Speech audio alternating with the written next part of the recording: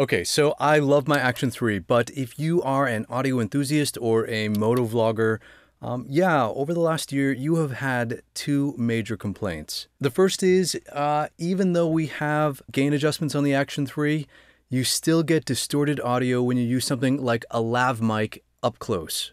And second, there is no way to use an external mic and charge your camera simultaneously. Well, I'm super excited to report to you that the Action 4 can do both of those things. So yeah, even though I uh, love my Action 3, I immediately bought an Action 4, and I'm super glad I did because it is interesting how DJI was able to fix the mistakes that they had in their Action 3 with this Action 4. Okay, so let's get right into it. If you see something in this video that you need, I will put links to everything in this video down in the description below distorted audio while using a lav mic. So I know a lot of moto vloggers out there like to put microphones into their helmets so that they can um, vlog while they are riding around. But the problem is, is that putting a lav mic into your helmet in an enclosed space with wind noise and engine noise and having it right next to your mouth can cause a lot of distortion. And so I wanted to set up a simulation so that you can hear this on the Action 3 and then do the exact same tests on the Action 4 so that you can hear the difference and how DJI actually fixed the gain issue when you're using external mic adapters. And if you only came here to see how you use an external mic and charge the camera at the same time, uh, you can skip. You can just skip ahead. Okay, so for this test, I tried to be as uh, yeah, like super scientific as a YouTuber could be. So I decided to use my Rode Lavalier Go plugged into my Boya BYK4 USB-C adapter, and I ran those into the cameras at different gain settings. I placed the mic directly in front of one of my studio monitors, and I played the same exact audio clip, this clip, at the same level over and over and over again. And it wasn't even at like a super loud level. It was like something at like peaking maybe at 80 something dB. And so I did these recordings on the Action 3 at a gain setting of plus 6, 0 dB, and minus 12 dB so that you can hear the difference or lack thereof uh, with each of those settings. Now, the following audio clips all have been normalized in DaVinci Resolve to minus 3 dBFS, so there shouldn't be that much fluctuation in actual volume. But yeah, be forewarned, you are going to hear distorted audio in three, two, one, boom. This is the reference audio for the Action 3 and Action 4 gain adjustment distortion test. This is the reference audio for the Action 3 and Action 4 gain adjustment distortion test. This is the reference audio for the Action 3 and Action 4 gain adjustment distortion test.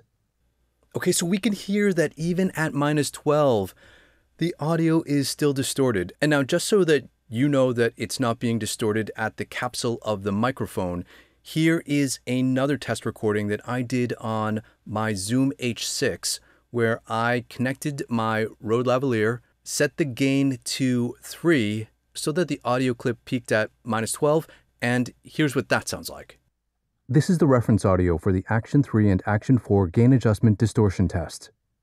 Okay, so before we get to the Action 4 examples, what is going on here? Well, basically, the Boya BYK4 adapter and the H6 are kind of the same in how they function, right?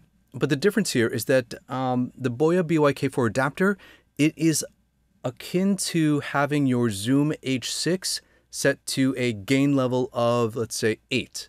And so while that might be okay in the majority of vlogging settings, you could see that in this test, I had to turn that gain down to 3 so that we didn't get that distorted audio. So basically what it boils down to is that if this adapter has like, you know, theoretically a gain setting of 8, the Action 3, when it reduces its gain, is not actually reducing the gain of this adapter, it is actually just lowering the overall volume of the audio recorded into the video file. Okay, so now let's take a listen to the Action 4 in those exact same settings and see how uh, see how that handles it. Now the Action 4 actually has a range of gain from plus 30 to minus 20. I mean, that's like a massive amount. So uh, I still maintained my plus 6, 0, and minus 12 like I did on the Action 3.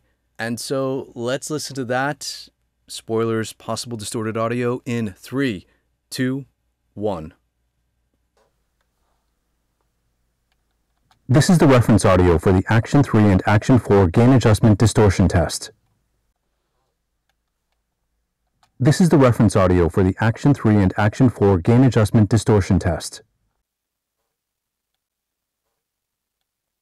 This is the reference audio for the Action 3 and Action 4 gain adjustment distortion test. Okay, so what did we hear? So at plus 6 and even at 0 dB, we were still getting that distortion because the gain was just too hot. But the second we dropped it down to minus 12 and then normalized it in post to minus 3 dBFS, you could hear that it sounded a lot more like the Zoom H6 recording meaning that DJI has implemented some kind of analog gain adjustment for external mic adapters before the analog to digital conversion and recording them to the video file. And while I haven't had the ability to test every single microphone I have uh, with this feature, I'm pretty sure it will apply to all TRS microphones that you want to plug in through an external mic adapter, like the Boya BYK4. Okay, so complaint number one check. Good job, DJI, on actually listening to what people needed with your next iteration of this camera. The second biggest complaint uh, is the inability to use an external microphone and charge your camera simultaneously. It seems like a pretty easy thing to do, right? To have some kind of splitter to do both. Well, like I teased in the beginning, with the Action 4,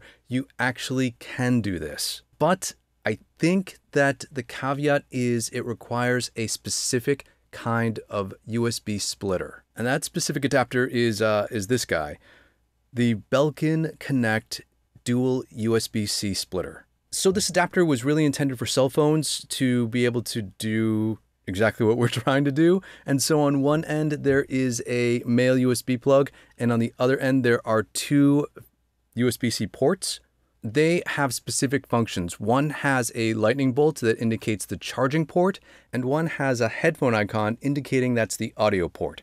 Now, Belkin does make a version of this that has a USB C for charging and a 3.5 millimeter jack for audio.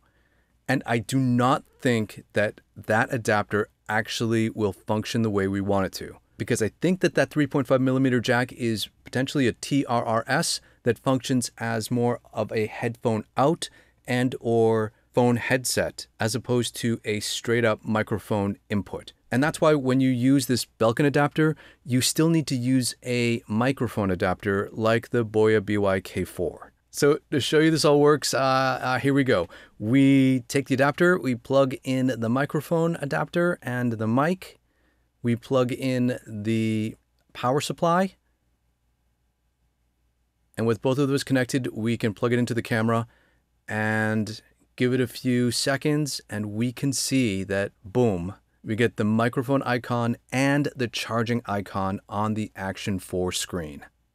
And yes, I have tested this Belkin adapter with both power banks like the DJI battery case, as well as charging blocks that are plugged into the wall. And on the audio side, I have tested it with microphone adapters that um, convert a TRS signal, as well as straight up USB C microphones like the Movo Double Mic UC, which is one of my favorite mics to use with these cameras. So now that we can do that, should we rejoice? Well, um, maybe. I mean, I am super excited that the Action 4 has these capabilities, right? Because it the, it makes it a much more usable camera when it comes to recording your audio. But really, I feel as though these features should have been something that could have been implemented in the Action 3.